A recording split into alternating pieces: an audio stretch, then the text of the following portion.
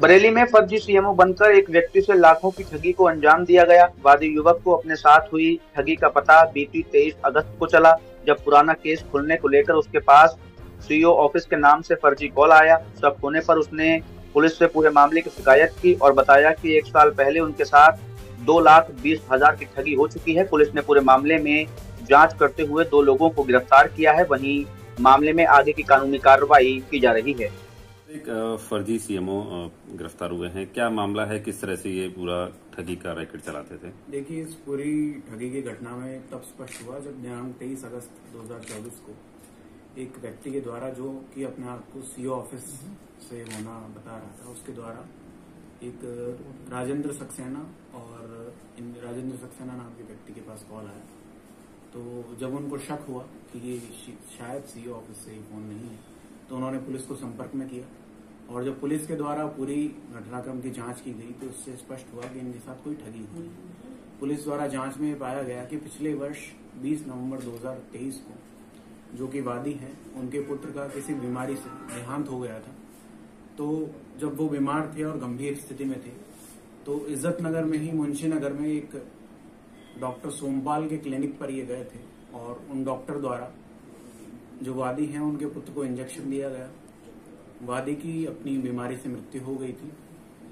उसी घटना के लगभग तीन चार दिन बाद उसी क्लिनिक के डॉक्टर डॉक्टर सोमपाल द्वारा वादी से संपर्क किया गया कि आपके विरुद्ध, आपके बेटे के विरुद्ध और आपकी पत्नी के विरुद्ध एक थाने में एफआईआर हो गई है। और उस एफआईआर का कंटेंट ये है कि आप ही के द्वारा इंजेक्शन देकर आपके बेटे को मार दिया गया है।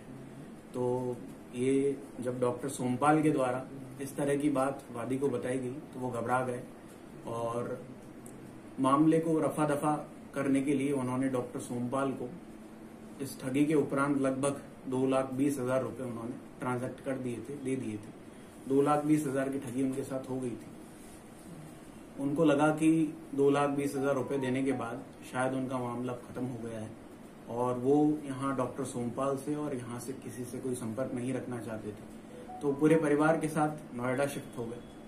परंतु लगभग एक वर्ष बाद, लगभग अभी तेईस अगस्त को ही उनको एक कॉल आया जो कि अपने आप को सीओ ऑफ़िस से बता रहा था। और कह रहा था कि जो एक वर्ष पुराना जो आपका केस था, वो वापस ओपन हो गया है और डॉक्टर सोमपाल जो है, उसको नोएडा पुलिस उठाकर ले गई है और आपको भी पूछताछ के लिए बुलाया जाएगा।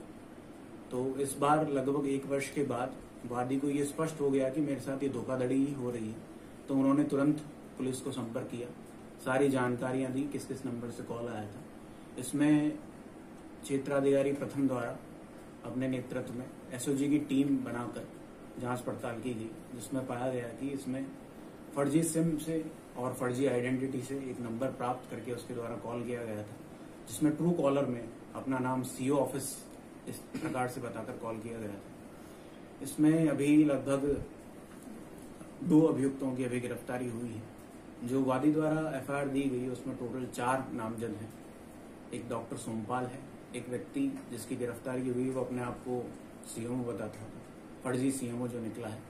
और एक व्यक्ति, एक महिला, जो अपने आप को सीएमओ की वाइफ बताती थी। उसकी तलाश जारी है, उसकी भी गिरफ्तारी कर ली जाएगी। और जिन व्यक्तियों ने इन्होंने जिन व्यक्तियों से अपनी फर्जी सिम बनवाई है, वो भी हमारा वांछित चल रहा है, उसकी भी जल्द गिरफ्तारी की जाएगी।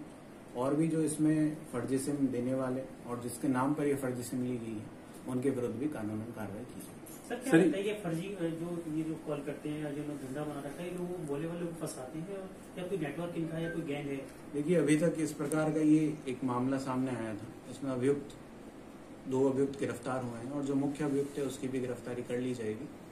और जो डॉक्टर सोमपाल है उसकी गिरफ्तारी के पश्चात ये स्पष्ट होगा कि उनके द्वारा किस प्रकार के और भी फ्रॉड किए गए हैं। और मेरा भी आप लोगों के माध्यम से सभी को आग्रह है कि आप अपने माध्यम से लोगों को ये जागरूक करें कि इस तरह का फ्रॉड आता है तो फ्रॉड में ना फंसे। तुरंत पुलिस को सूचित करें ताकि पुलिस आपकी मदद कर सके। जो फर्जी सीएमओ है सर ये एनजीओ भी चलाता है।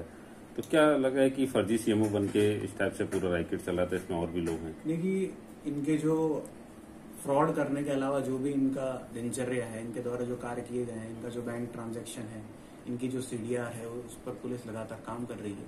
और भी जो लीड्स मिलेगी और और भी इनके द्वारा द्वारा जो फ्रॉड किए गए हैं उनको भी वर्कआउट किया जाए।